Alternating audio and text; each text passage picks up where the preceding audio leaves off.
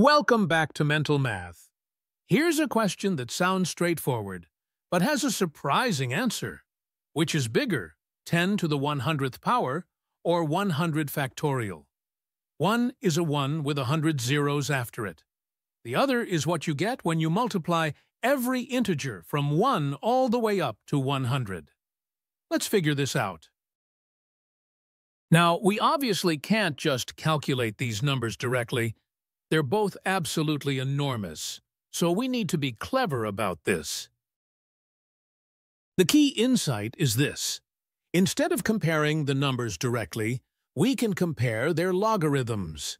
If the logarithm of a is bigger than the logarithm of b, then a itself must be bigger than b. We'll work with base 10 logarithms here. Let's tackle the easier one first we need the base 10 logarithm of 10 to the 100th power. There's a handy property of logarithms here. When you have a logarithm of something raised to a power, you can pull that exponent out front as a multiplier. It's called the power rule. So that 100 comes down to the front, which gives us 100 times the logarithm of 10. And here's the nice part.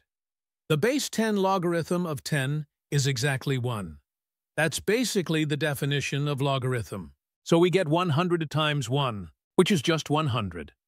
So that's our benchmark. Now the real question is, can 100 factorial beat that?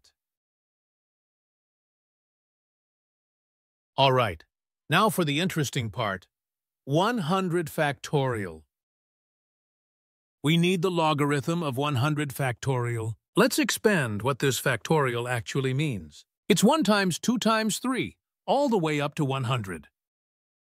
Now, here's another key property of logarithms. The log of a times b equals the log of a plus the log of b. The logarithm of a product becomes a sum. So this big product breaks down into a sum of logarithms. We can write it in summation notation as the sum of log n where n goes from 1 to 100. The question is, is this sum bigger than 100? We could calculate it term by term, but there's a much more elegant way. Here's the thing. We don't need to know the exact value. We just need to show it's bigger than 100. Let's split this sum into two pieces. Most of the action happens in the terms from 10 to 100. The log of 1 is 0, and logs of 2 through 9 are all positive numbers. If we just ignore these positive terms, we're making our sum smaller. So the original sum is definitely bigger than just the sum from n equals 10 to 100. If we can prove this smaller sum beats 100, we're done. How many terms do we have here? From 10 to 100, that's 91 terms. Since that's an odd number, we can pair them up. Smallest with largest, second smallest with second largest, and so on. That leaves one term in the middle unpaired. Look at the first pair, log of 10 plus log of 100. Using our product rule in reverse, that's the log of 10 times 100, which is the log of 1,000, and that equals 3. Now check out the next pair, 11 and 99. Their product is 1089. Since 1089 is bigger than 1000, its logarithm has to be bigger too. So this pair gives us more than 3.